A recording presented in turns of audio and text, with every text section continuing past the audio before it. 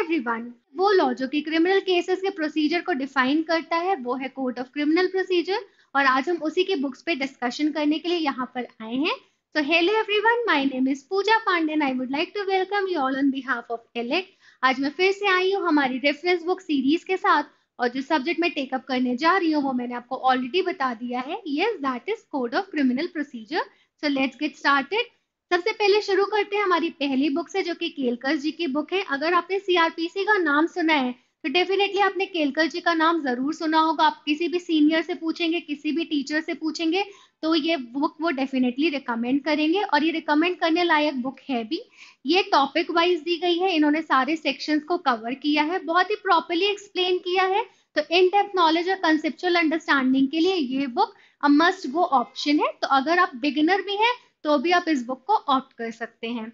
चलिए अब अपनी दूसरी बुक की तरफ़ चलते हैं, जो कि है रतन लाल और धीरज लाल की बुक ये थोड़ी सी अपडेटेड बुक है और एडवांस लेवल की स्टडी के लिए है। मान लीजिए आपने बेयर एक्ट्स पढ़ लिए हैं और आप ज़्यादा इन डेप्थ पढ़ना चाहते हैं तो भी आप इस बुक को ऑप्ट कर सकते हैं। या फिर आपने दूसरे बुक से अपनी कंसेप्चुअल क्लैरिटी की है, लेकिन आपको कोई भी ग्रे एरियाज़ आपको समझ में नहीं आ रहा इन दैट केस भी आप इस बुक को रेफर कर सकते हैं।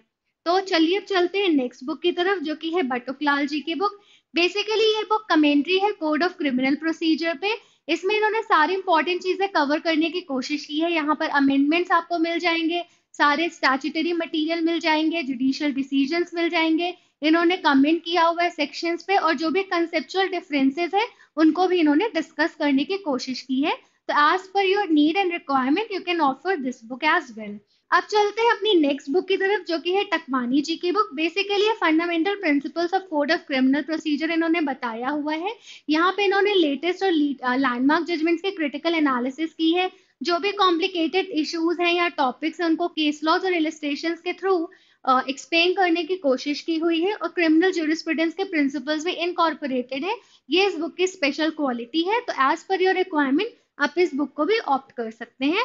अब चलते हैं अपनी नेक्स्ट बुक की तरफ़, जो कि है एस एन मिश्रा जी की बुक अभी तक मैंने आपको जितनी भी बुक्स बताई हैं, वो सारी टॉपिक वाइज है। ये ऐसी बुक है जो कि सेक्शन वाइज है। काफ़ी सिंपल और काफ़ी ल्यूसिड है। अगर आपने आईपीसी पढ़ा है तो भी वहाँ पे आपने एस एन मिश्रा जी की बुक को फॉलो किया होगा। तो आपको पता होगा कि ये काफ़ी इजी तरीके से चीज़ों को एक्सप्लेन करते हैं। साथ ही साथ इन्होंने दो और इनैक्टमेंट्स को भी इंक्लूड किया अपनी सीआरपीसी की बुक में, जो कि है जुवेनाइल जस्टिस और प्रोवेशन ऑफ़ ऑफेंडर एक्ट तो अगर आपको लगता है कि ये बुक आपके लिए एक अच्छा ऑप्शन है तो आप इसे भी ऑप्ट कर सकते हैं।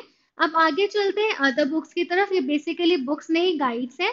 मैंने अपने प्रीवियस वीडियोस में भी आपको बताया है कि ये कंसेप्चुअल क्लैरिटी के लिए नहीं है, लेकिन अगर आपको वन टाइम रिवीजन करना है या आपको अपने सेमेस्टर एग्ज़ाम्स क्लियर करने हैं तो आप इन गाइड्स को ऑप्ट कर सकते हो। प्रेफरेबल है रेगा सूर्या राव की ए के जैन की और सिंगल्स की। अब आगे चलते हैं, अब चलते हैं स्टडी मॉड्यूल की तरफ़। अगर आप किसी भी इंस्टीट्यूट के साथ एसोसिएटेड है तो आप वहाँ का स्टडी मॉड्यूल रेफर कर सकते हैं। उससे आपको दो बेनिफिट होंगे, आपको एक जगह कंसाइज कंटेंट मिल जाएगा तो आपको रिसर्च नहीं करनी होगी, साथ ही साथ वो आपके आंसर राइटिंग में भी काफ़ी हेल्प करेगा। तो ये था मेरा पूरा video books on code of criminal procedure पे। अगर आपको अच्छा लगा हो तो प्लीज़ लाइक करिए कोई भी डाउट हो तो आप मुझसे कमेंट सेक्शन में पूछ सकते हैं और आप हमारे चैनल को सब्सक्राइब भी कर सकते हैं। साथ ही साथ हम हमारे सोशल मीडिया प्लेटफॉर्म से भी हमसे कनेक्ट कर सकते हैं। Thank you